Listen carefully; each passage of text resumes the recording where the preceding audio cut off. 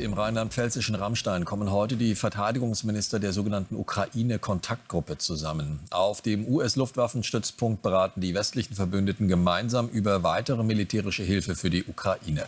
Mit Spannung erwartet eine mögliche Entscheidung zur Lieferung von Kampfpanzern an Kiew. Bislang sind Deutschland und die USA zögerlich. Die Augen ruhen vor allem auf Boris Pistorius, den neuen Verteidigungsminister. Leonie von Randow. Gestern erst leistete Boris Pistorius im Bundestag den Amtseid. Heute erwartet ihn in Rammstein seine Feuertaufe. Der Druck, der Ukraine Leopard 2 Panzer zu schicken, wächst. Kanzler Scholz will nur liefern, wenn die USA ihrerseits Kampfpanzer vom Typ Abrams schicken. Für den neuen Bundesverteidigungsminister ist das keine Bedingung. Ein solches Junktim ist mir nicht bekannt. Äh, Tatsache ist, es geht darum, dass wir in der Art und Weise äh, in dieser Krise, in dieser Kriegssituation weiter verfahren und miteinander handeln wie den letzten zwölf Monaten auch. Und das heißt, wir gehen abgestimmt vor. Das heißt nicht, der eine gibt dies, der andere das. Es muss nur abgestimmt passieren. Seit Kriegsbeginn fordert der ukrainische Präsident Zelensky unermüdlich schwere Kampfpanzer. Polen und weitere Länder sind bereit, den Leopard zu liefern, brauchen dafür aber das Okay vom Herstellerland Deutschland. In seiner nächtlichen Videobotschaft macht Zelensky kurz vor dem Treffen in Rammstein weiter Druck auf die Bundesregierung. Eine entsprechende Koalition von Partnern hat sich eigentlich schon gebildet. Jetzt warten wir auf eine Entscheidung aus einer europäischen Hauptstadt, die die vorbereitete Zusammenarbeit in Sachen Panzer in Gang setzt. Auch Washington zögert mit der Lieferung seines Kampfpanzers Abrams. Wartung und Ausbildung seien zu aufwendig. Beim amerikanischen Verteidigungsminister bereits seit gestern in Deutschland klingt das so.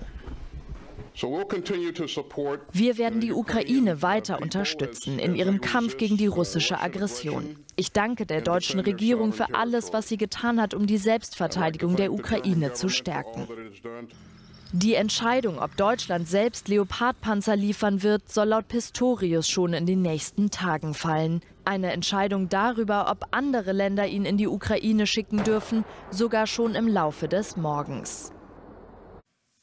US-Korrespondent Michael Wöhlenweber in Washington, der schätzt die Debatte zu den Kampfpanzern aus US-amerikanischer Sicht ein.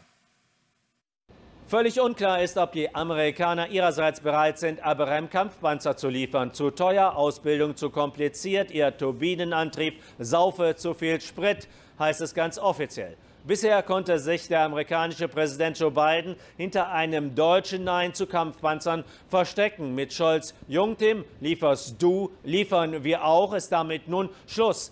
Die Rolle als Bremser will man hier als Washington natürlich nicht auf sich setzen lassen. Jedes Land sei frei, welches Waffensystem es liefern wolle, so der amerikanische Außenminister Blinken Richtung deutsches Kanzleramt.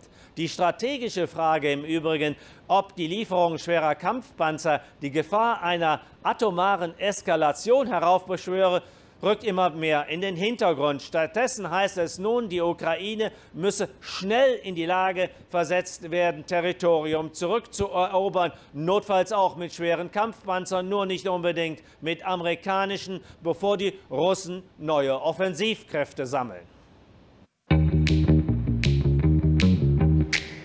Unser Fernsehsender Welt versorgt Sie rund um die Uhr mit den aktuellen Nachrichten und Hintergrundberichten. Hier beleuchten wir die wichtigsten Themen des Tages und ordnen das Geschehen für Sie ein. Wie Sie uns im TV finden können? Ganz einfach. Indem Sie den Sendersuchlauf an Ihrem Fernseher starten, eine Anleitung finden Sie hier oben verlinkt. Zusammen mit einer Erklärung, wie Sie uns dann über Kabel, Satellit, Streaming, IPTV empfangen können. Hallo und ganz herzlich willkommen hier bei Welt. Wenn ihr mehr News aus unserem Team wollt, dann müsst ihr einmal hier klicken. Wenn ihr auf der Suche seid nach spannenden Dokus, starken Reportagen, dann geht's hier entlang. Und wenn ihr Welt abonnieren wollt, neu entdecken wollt, dann einmal hier klicken.